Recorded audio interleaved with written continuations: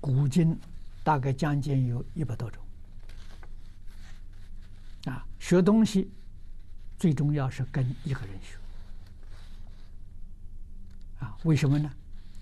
你才能得定。学了很多东西，每个人说法不一样，你一起怀疑，怀疑的时候就把你的功力全都破坏了。啊，所以这叫四成嘛，跟一个老师嘛，跟一个老师走一条路，两个老师两条路，三个老师三岔路口，你就无从走起了。啊，这个是最大的忌讳，你不明白这个道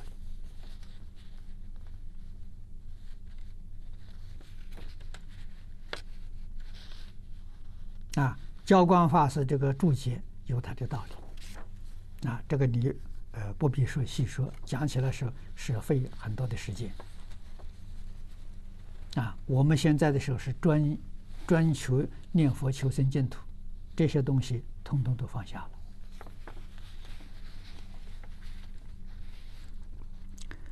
底下第十九个问题，他说父亲身患绝症。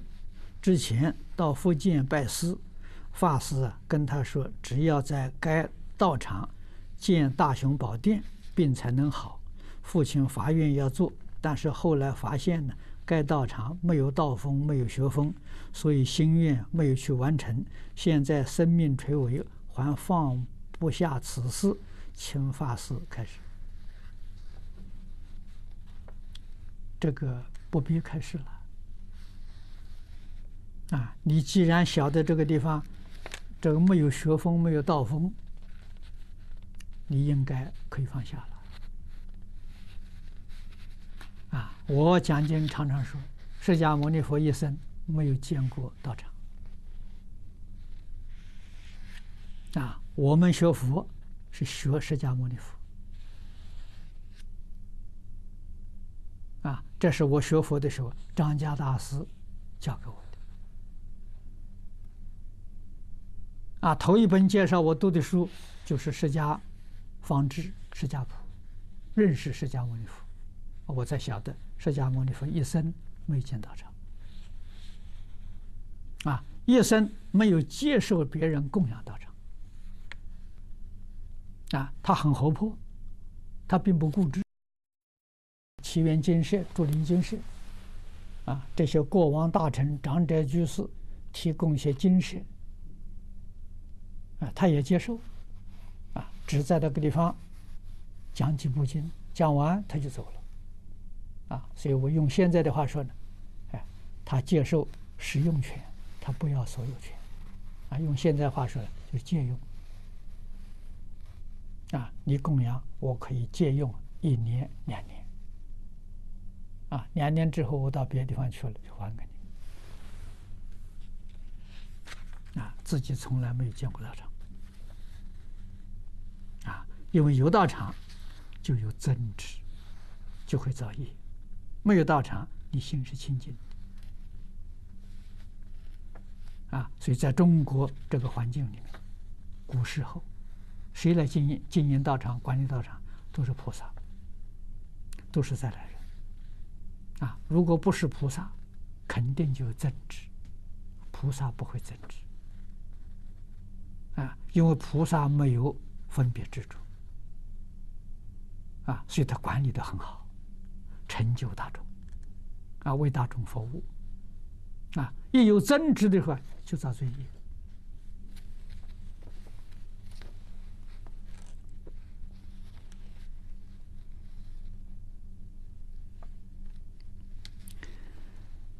下面一个问题，他说在和谐拯救危机的公益访谈中，啊，师傅说要建立汉学院。可不可以在中国辽宁省丹东市来实践？哪个地方都可以。啊，只要有缘分。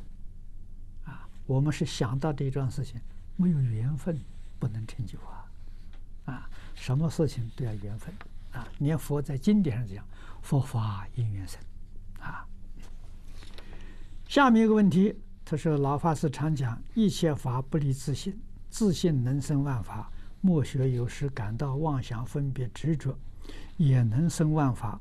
不过这个万法离自信越来越远，请问这样的体会是否正确？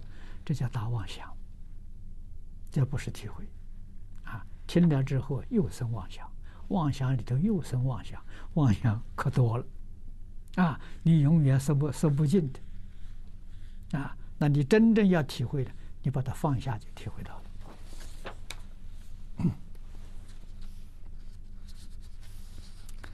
请问自信呢？本净，为何会产生妄想、分别、执着？啊，是众生无始劫来的业障习气而感召吗？这个问题，释迦牟尼佛在世的时候，富罗那问过，在《楞严经》第四卷，你就看看，他问的跟你一样，你看世尊怎么回答的？啊？经文很长，啊，不是两个小时能讲得完的。你先去看，看不懂呢，看注解。啊，注解比较浅一点的，元音法师的《楞严经讲义》，啊，你可以先看他的，然后你就看古注，啊，你就能把这个事情解决了。啊，山河大地。也是妄想分别执着变现的吗？没错，是的，一点都没错。啊，妄想分别执着没有了，山河大地就没有了。啊，永嘉大师正道过里讲啊：“梦里明明有六趣，觉后空空无大千。”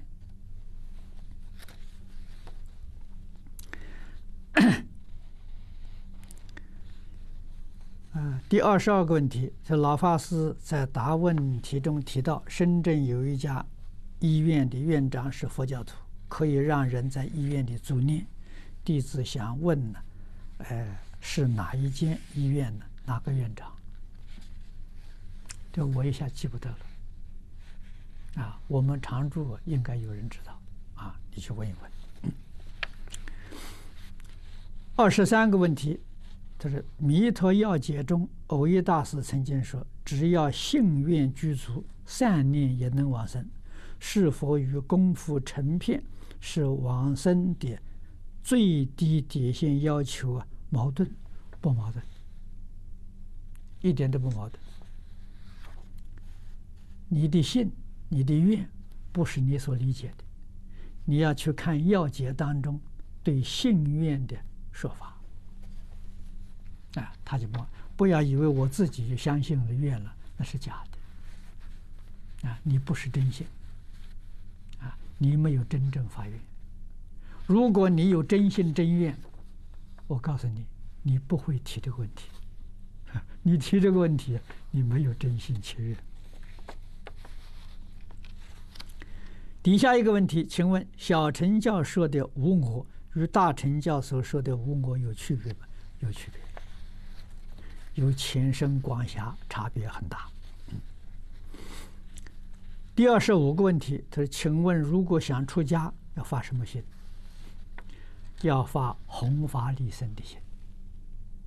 如果不弘法利生呢，在家学佛一样，跟出家没有差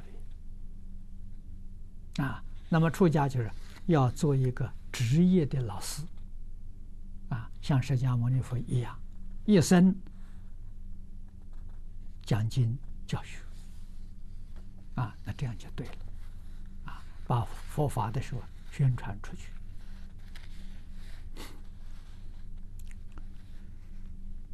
第二十六个问题，就是开餐饮业如何才算如法不造业？啊，那么最好是做素食餐厅，啊，比较上啊。适合一点。下面还有四个问题，我们看看时间哈。第一个，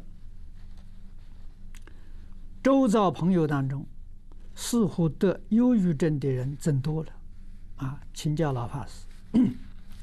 第一个是，真正是现代人的抗压性大幅度的降低，容易患此病症，或是有些人。